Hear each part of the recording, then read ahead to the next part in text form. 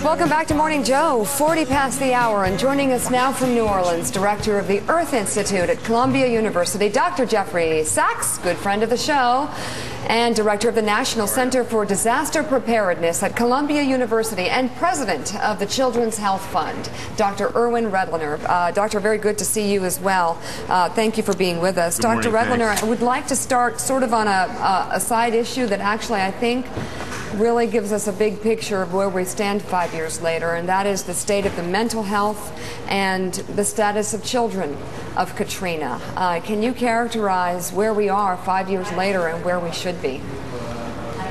Sure, Mika. You know, the thing is that uh, people are falling all over themselves trying to declare Katrina and the recovery from Katrina over. But the fact is that our brand new study is showing that the status of kids five years after the storm is still very, very worrisome. In fact, we found that uh, at least 20 to 30,000 children now, right now, in the Gulf, just between Mississippi and Louisiana, are suffering from significant long-term uh, emotional disorders, and many, in, many in, in situations of severe housing instability as well. So it's a long way to go for these children.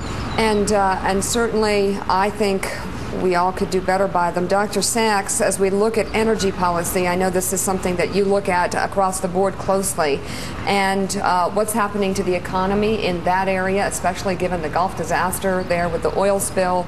Um, where do we go from here in trying to develop sustainable policy? And have we lost some time in the past, maybe year or two, in terms of new ideas? Isn't it amazing that uh, we've had the spill, we've had these disasters, we've had the uh, hottest uh, summer, uh, actually hottest year in recorded history, and we've also had the complete collapse uh, of uh, any attempt in our country at an energy policy. Uh, the administration withdrew the legislation. Senator Reid said we won't consider it. Basically, we're, we're totally adrift. And this is what's really shocking. We've been waiting, I've been waiting uh, for the administration to put forward a plan so that at least the American people would have some guidelines. We never have gotten that plan, and without it, we're just going to have uh, one disaster after another, basically, and, until we start thinking about the future, whether it's uh, in energy, whether it's uh, in uh, the climate hazards. We're, we're kind of in denial and in drift right now. And you all are part It's- of the major. amazing. It, it truly is. You all are part of a major conference down there. Tell us about that, and and quite frankly, is anything going to come out of it? Well, you know, one one thing that's interesting, uh, Irwin and I and uh, and uh, Mitch Landrieu, the, the great mayor of uh, the city of uh, New Orleans, uh, we were talking last year about exactly this drift and the fact that uh, this was before the spill, uh, that something needed to be done to help mobilize public understanding about what the challenges are and get some forward-looking action. So we called uh, this conference uh, Fighting for Survival in, in the Gulf region. And then all over the Caribbean, uh, the leaders, uh, not only from the Gulf states, uh, from the cities of the region, from the universities, but uh, prime ministers from the Caribbean nations, representatives from Mexico, Guatemala, and, and so forth, all have come here. We're brainstorming today.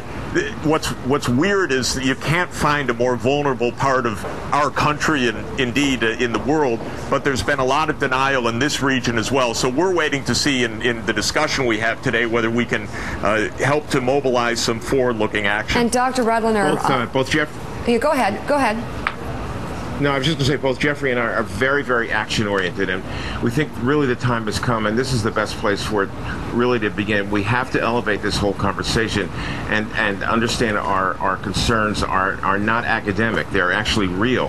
And to come to an area like this, and a region which is so extremely vulnerable, to us is the perfect place to say, what is the action? Who's going to organize this? Who is responsible? How much resources will we put into slowing down what is obviously a collision course uh, with the well-being of lots of people, millions of people around the world, and particularly in a region like this one. And Pat Buchanan, as we take the conversation a step further, and I know Dr. Redlener is uh, is knee deep in this, but we did the show at the school in New Orleans a while back, and there were kids, this amazing group of kids, this amazing school, but there were kids whose families still live in Houston. Where people were moved uh, during the disaster. I mean, these these lives have not even come close to being put back together. Well, that's, that leads to the question I'd like to ask both gentlemen is, we've had New Orleans five years ago, that disaster, enormous national attention focused on it, and enormous amounts of resources went down there, and then we have things, you get the spill in the Gulf, you get the disaster in Haiti, which is horrendous, hundreds of thousands of dead, we're looking at the floods in Pakistan. How do you get the focus back on New Orleans after scores of billions of dollars have been spent there, and the attention, if you will, the camera moves on and moves elsewhere. Well, not only, not only does the attention move elsewhere, but but what happens is that the people who have been left behind after the disaster, after the attention is dissipated, uh, end up suffering greatly. We don't even, we're not even seeing this. And one of the reasons we wanted to issue this uh, five-year report is basically to say you got to get your eyes back on this place because we have serious problems here. I was speaking with the the uh, the minister for the environment of Haiti uh, yesterday. He was telling me that it is absolutely horrendous how little progress has been made. And one of the problems, Pat, is that we we really don't learn the lessons from the, the last disaster and apply them to policies and the way we organize response to and prevention of disasters that are coming up. And this inability to learn from our mistakes and our missteps is really harming us and our ability to help people. All right, we look forward to hearing what comes out of the conference. Uh, Jeffrey Sachs, always good to see you, and Dr. Irwin Redlener, thank you as well.